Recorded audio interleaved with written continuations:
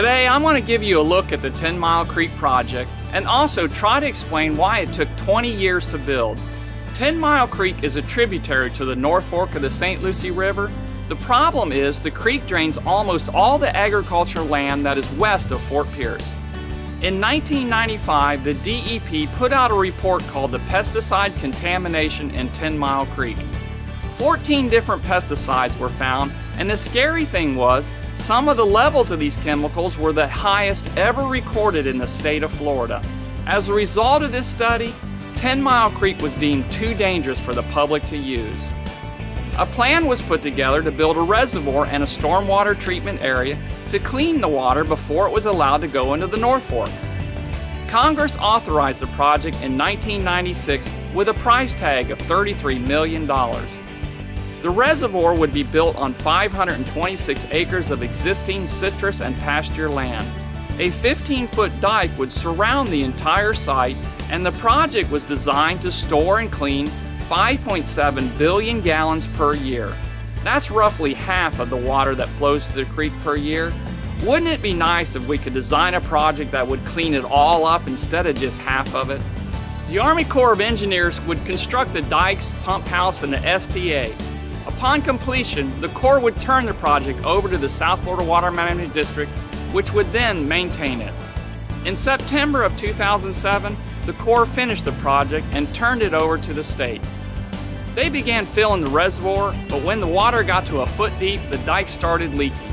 In 2008, a top South Florida Water Management District manager publicly stated that it was so flawed that it was a real public safety hazard so they refused to take over the project until it was fixed. Lots of finger pointing began, and the Corps blamed the engineers that designed it, so both parties lawyered up and started the legal battle that lasted 10 years. The case was settled in 2015, and the Corps received $4 million, but no other details were ever released. The project was supposed to be a prototype for future Everglades restoration, how are they ever going to fix the Everglades when they can't even build a 500 acre reservoir? In the fall of 2016, the South Florida Water Management District began to fix the problems at a cost of $7.5 million. They had to fix the adjacent canal that was eating away at the dike and remove the stair steps on the interior side of the dike because the wildlife, especially the turtles, were getting trapped. In the summer of 2017, the repairs were finished, and after 20 years, this project was finally completed. The park is now open, and you can access it off of Gordy Road. It has a canoe launch area, picnic tables, and a beautiful nature trail that winds through moss-covered trees and crosses over several creeks. Fishing is also allowed and snook can easily be caught at the spillway. A couple months later, Hurricane Irma hit us with 12 inches of rain and caused one of the worst fish kills on record.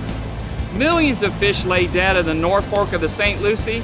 They all suffocated because oxygen levels plummet when chemicals get washed into our rivers. We need to stop this and get these farmers to quit poisoning our rivers with their toxic chemicals. Taxpayers shouldn't have to pay millions of dollars to clean up their mess. If we don't get a handle on this problem, there won't be any fish left to die.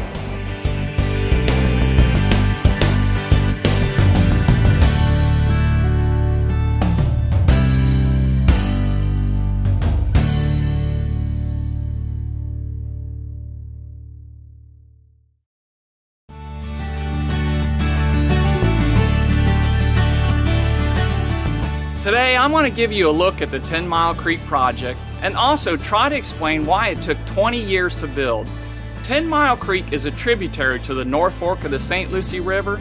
The problem is the creek drains almost all the agricultural land that is west of Fort Pierce. In 1995, the DEP